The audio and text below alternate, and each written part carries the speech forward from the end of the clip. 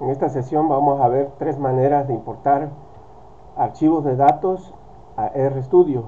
En el primero vamos a ver cómo se importan los datos de un archivo que se encuentra dentro del proyecto.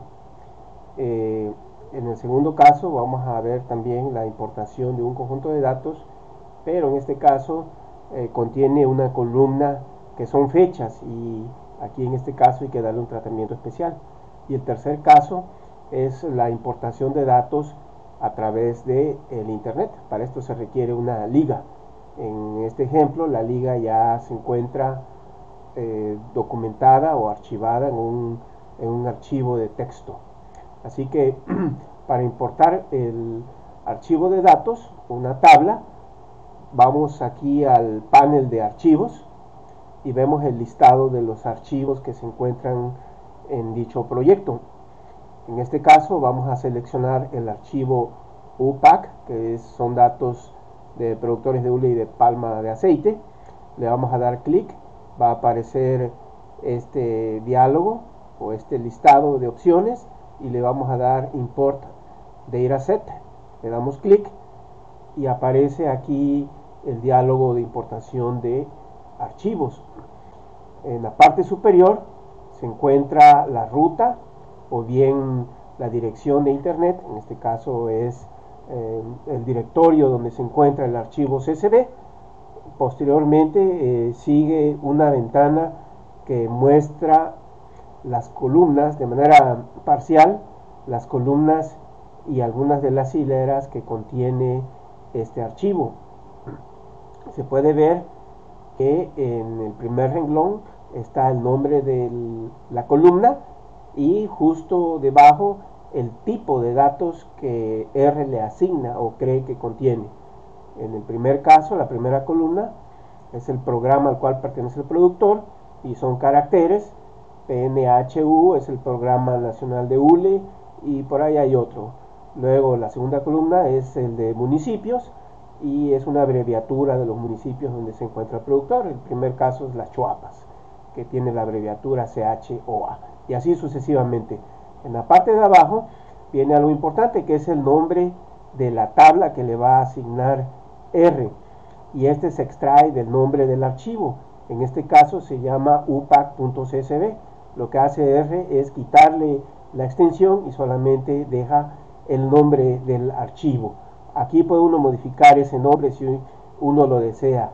Ah, es preferible que el nombre del archivo desde un principio eh, ya sea un nombre corto, que no tenga acentos, no tenga ñes y, este, y sea pues ilustrativo. Luego vienen aquí tres opciones que están palomeadas.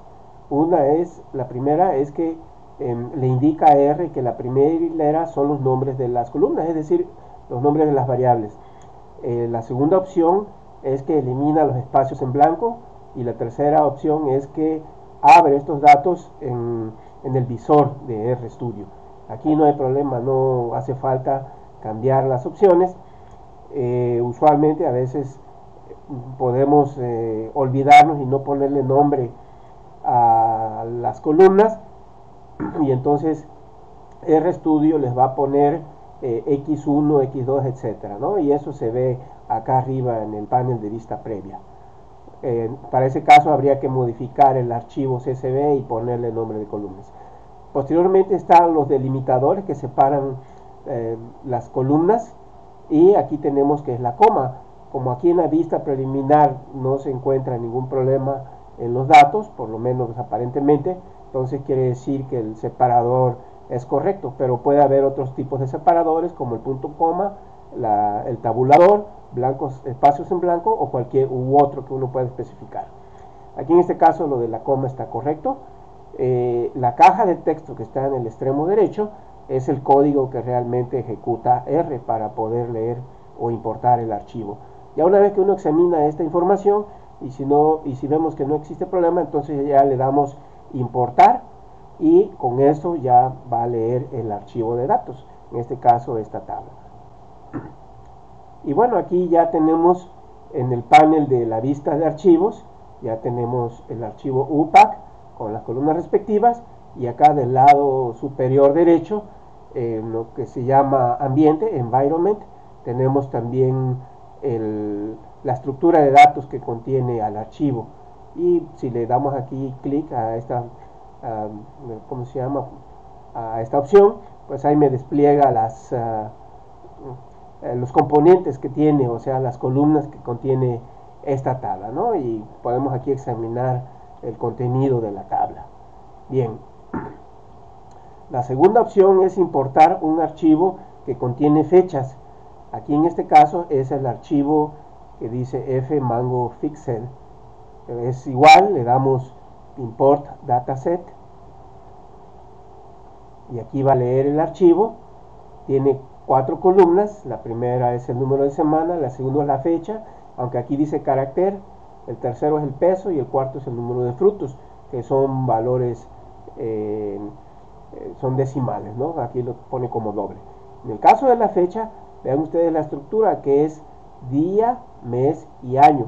Entonces tenemos que aquí en el selector de tipos de datos, vamos a darle date y va a aparecer una cajita con eh, la secuencia de lo que contiene esta información, pero aquí está mes, día y año, que es Y. Eh, realmente eh, el orden no es como está en la tabla, aquí es al revés, tenemos que darle aquí en vez de la M, la D, en vez de la D, la M, y la Y que es eh, con mayúscula, que es lo del año, permanece igual. Y entonces ya le damos OK.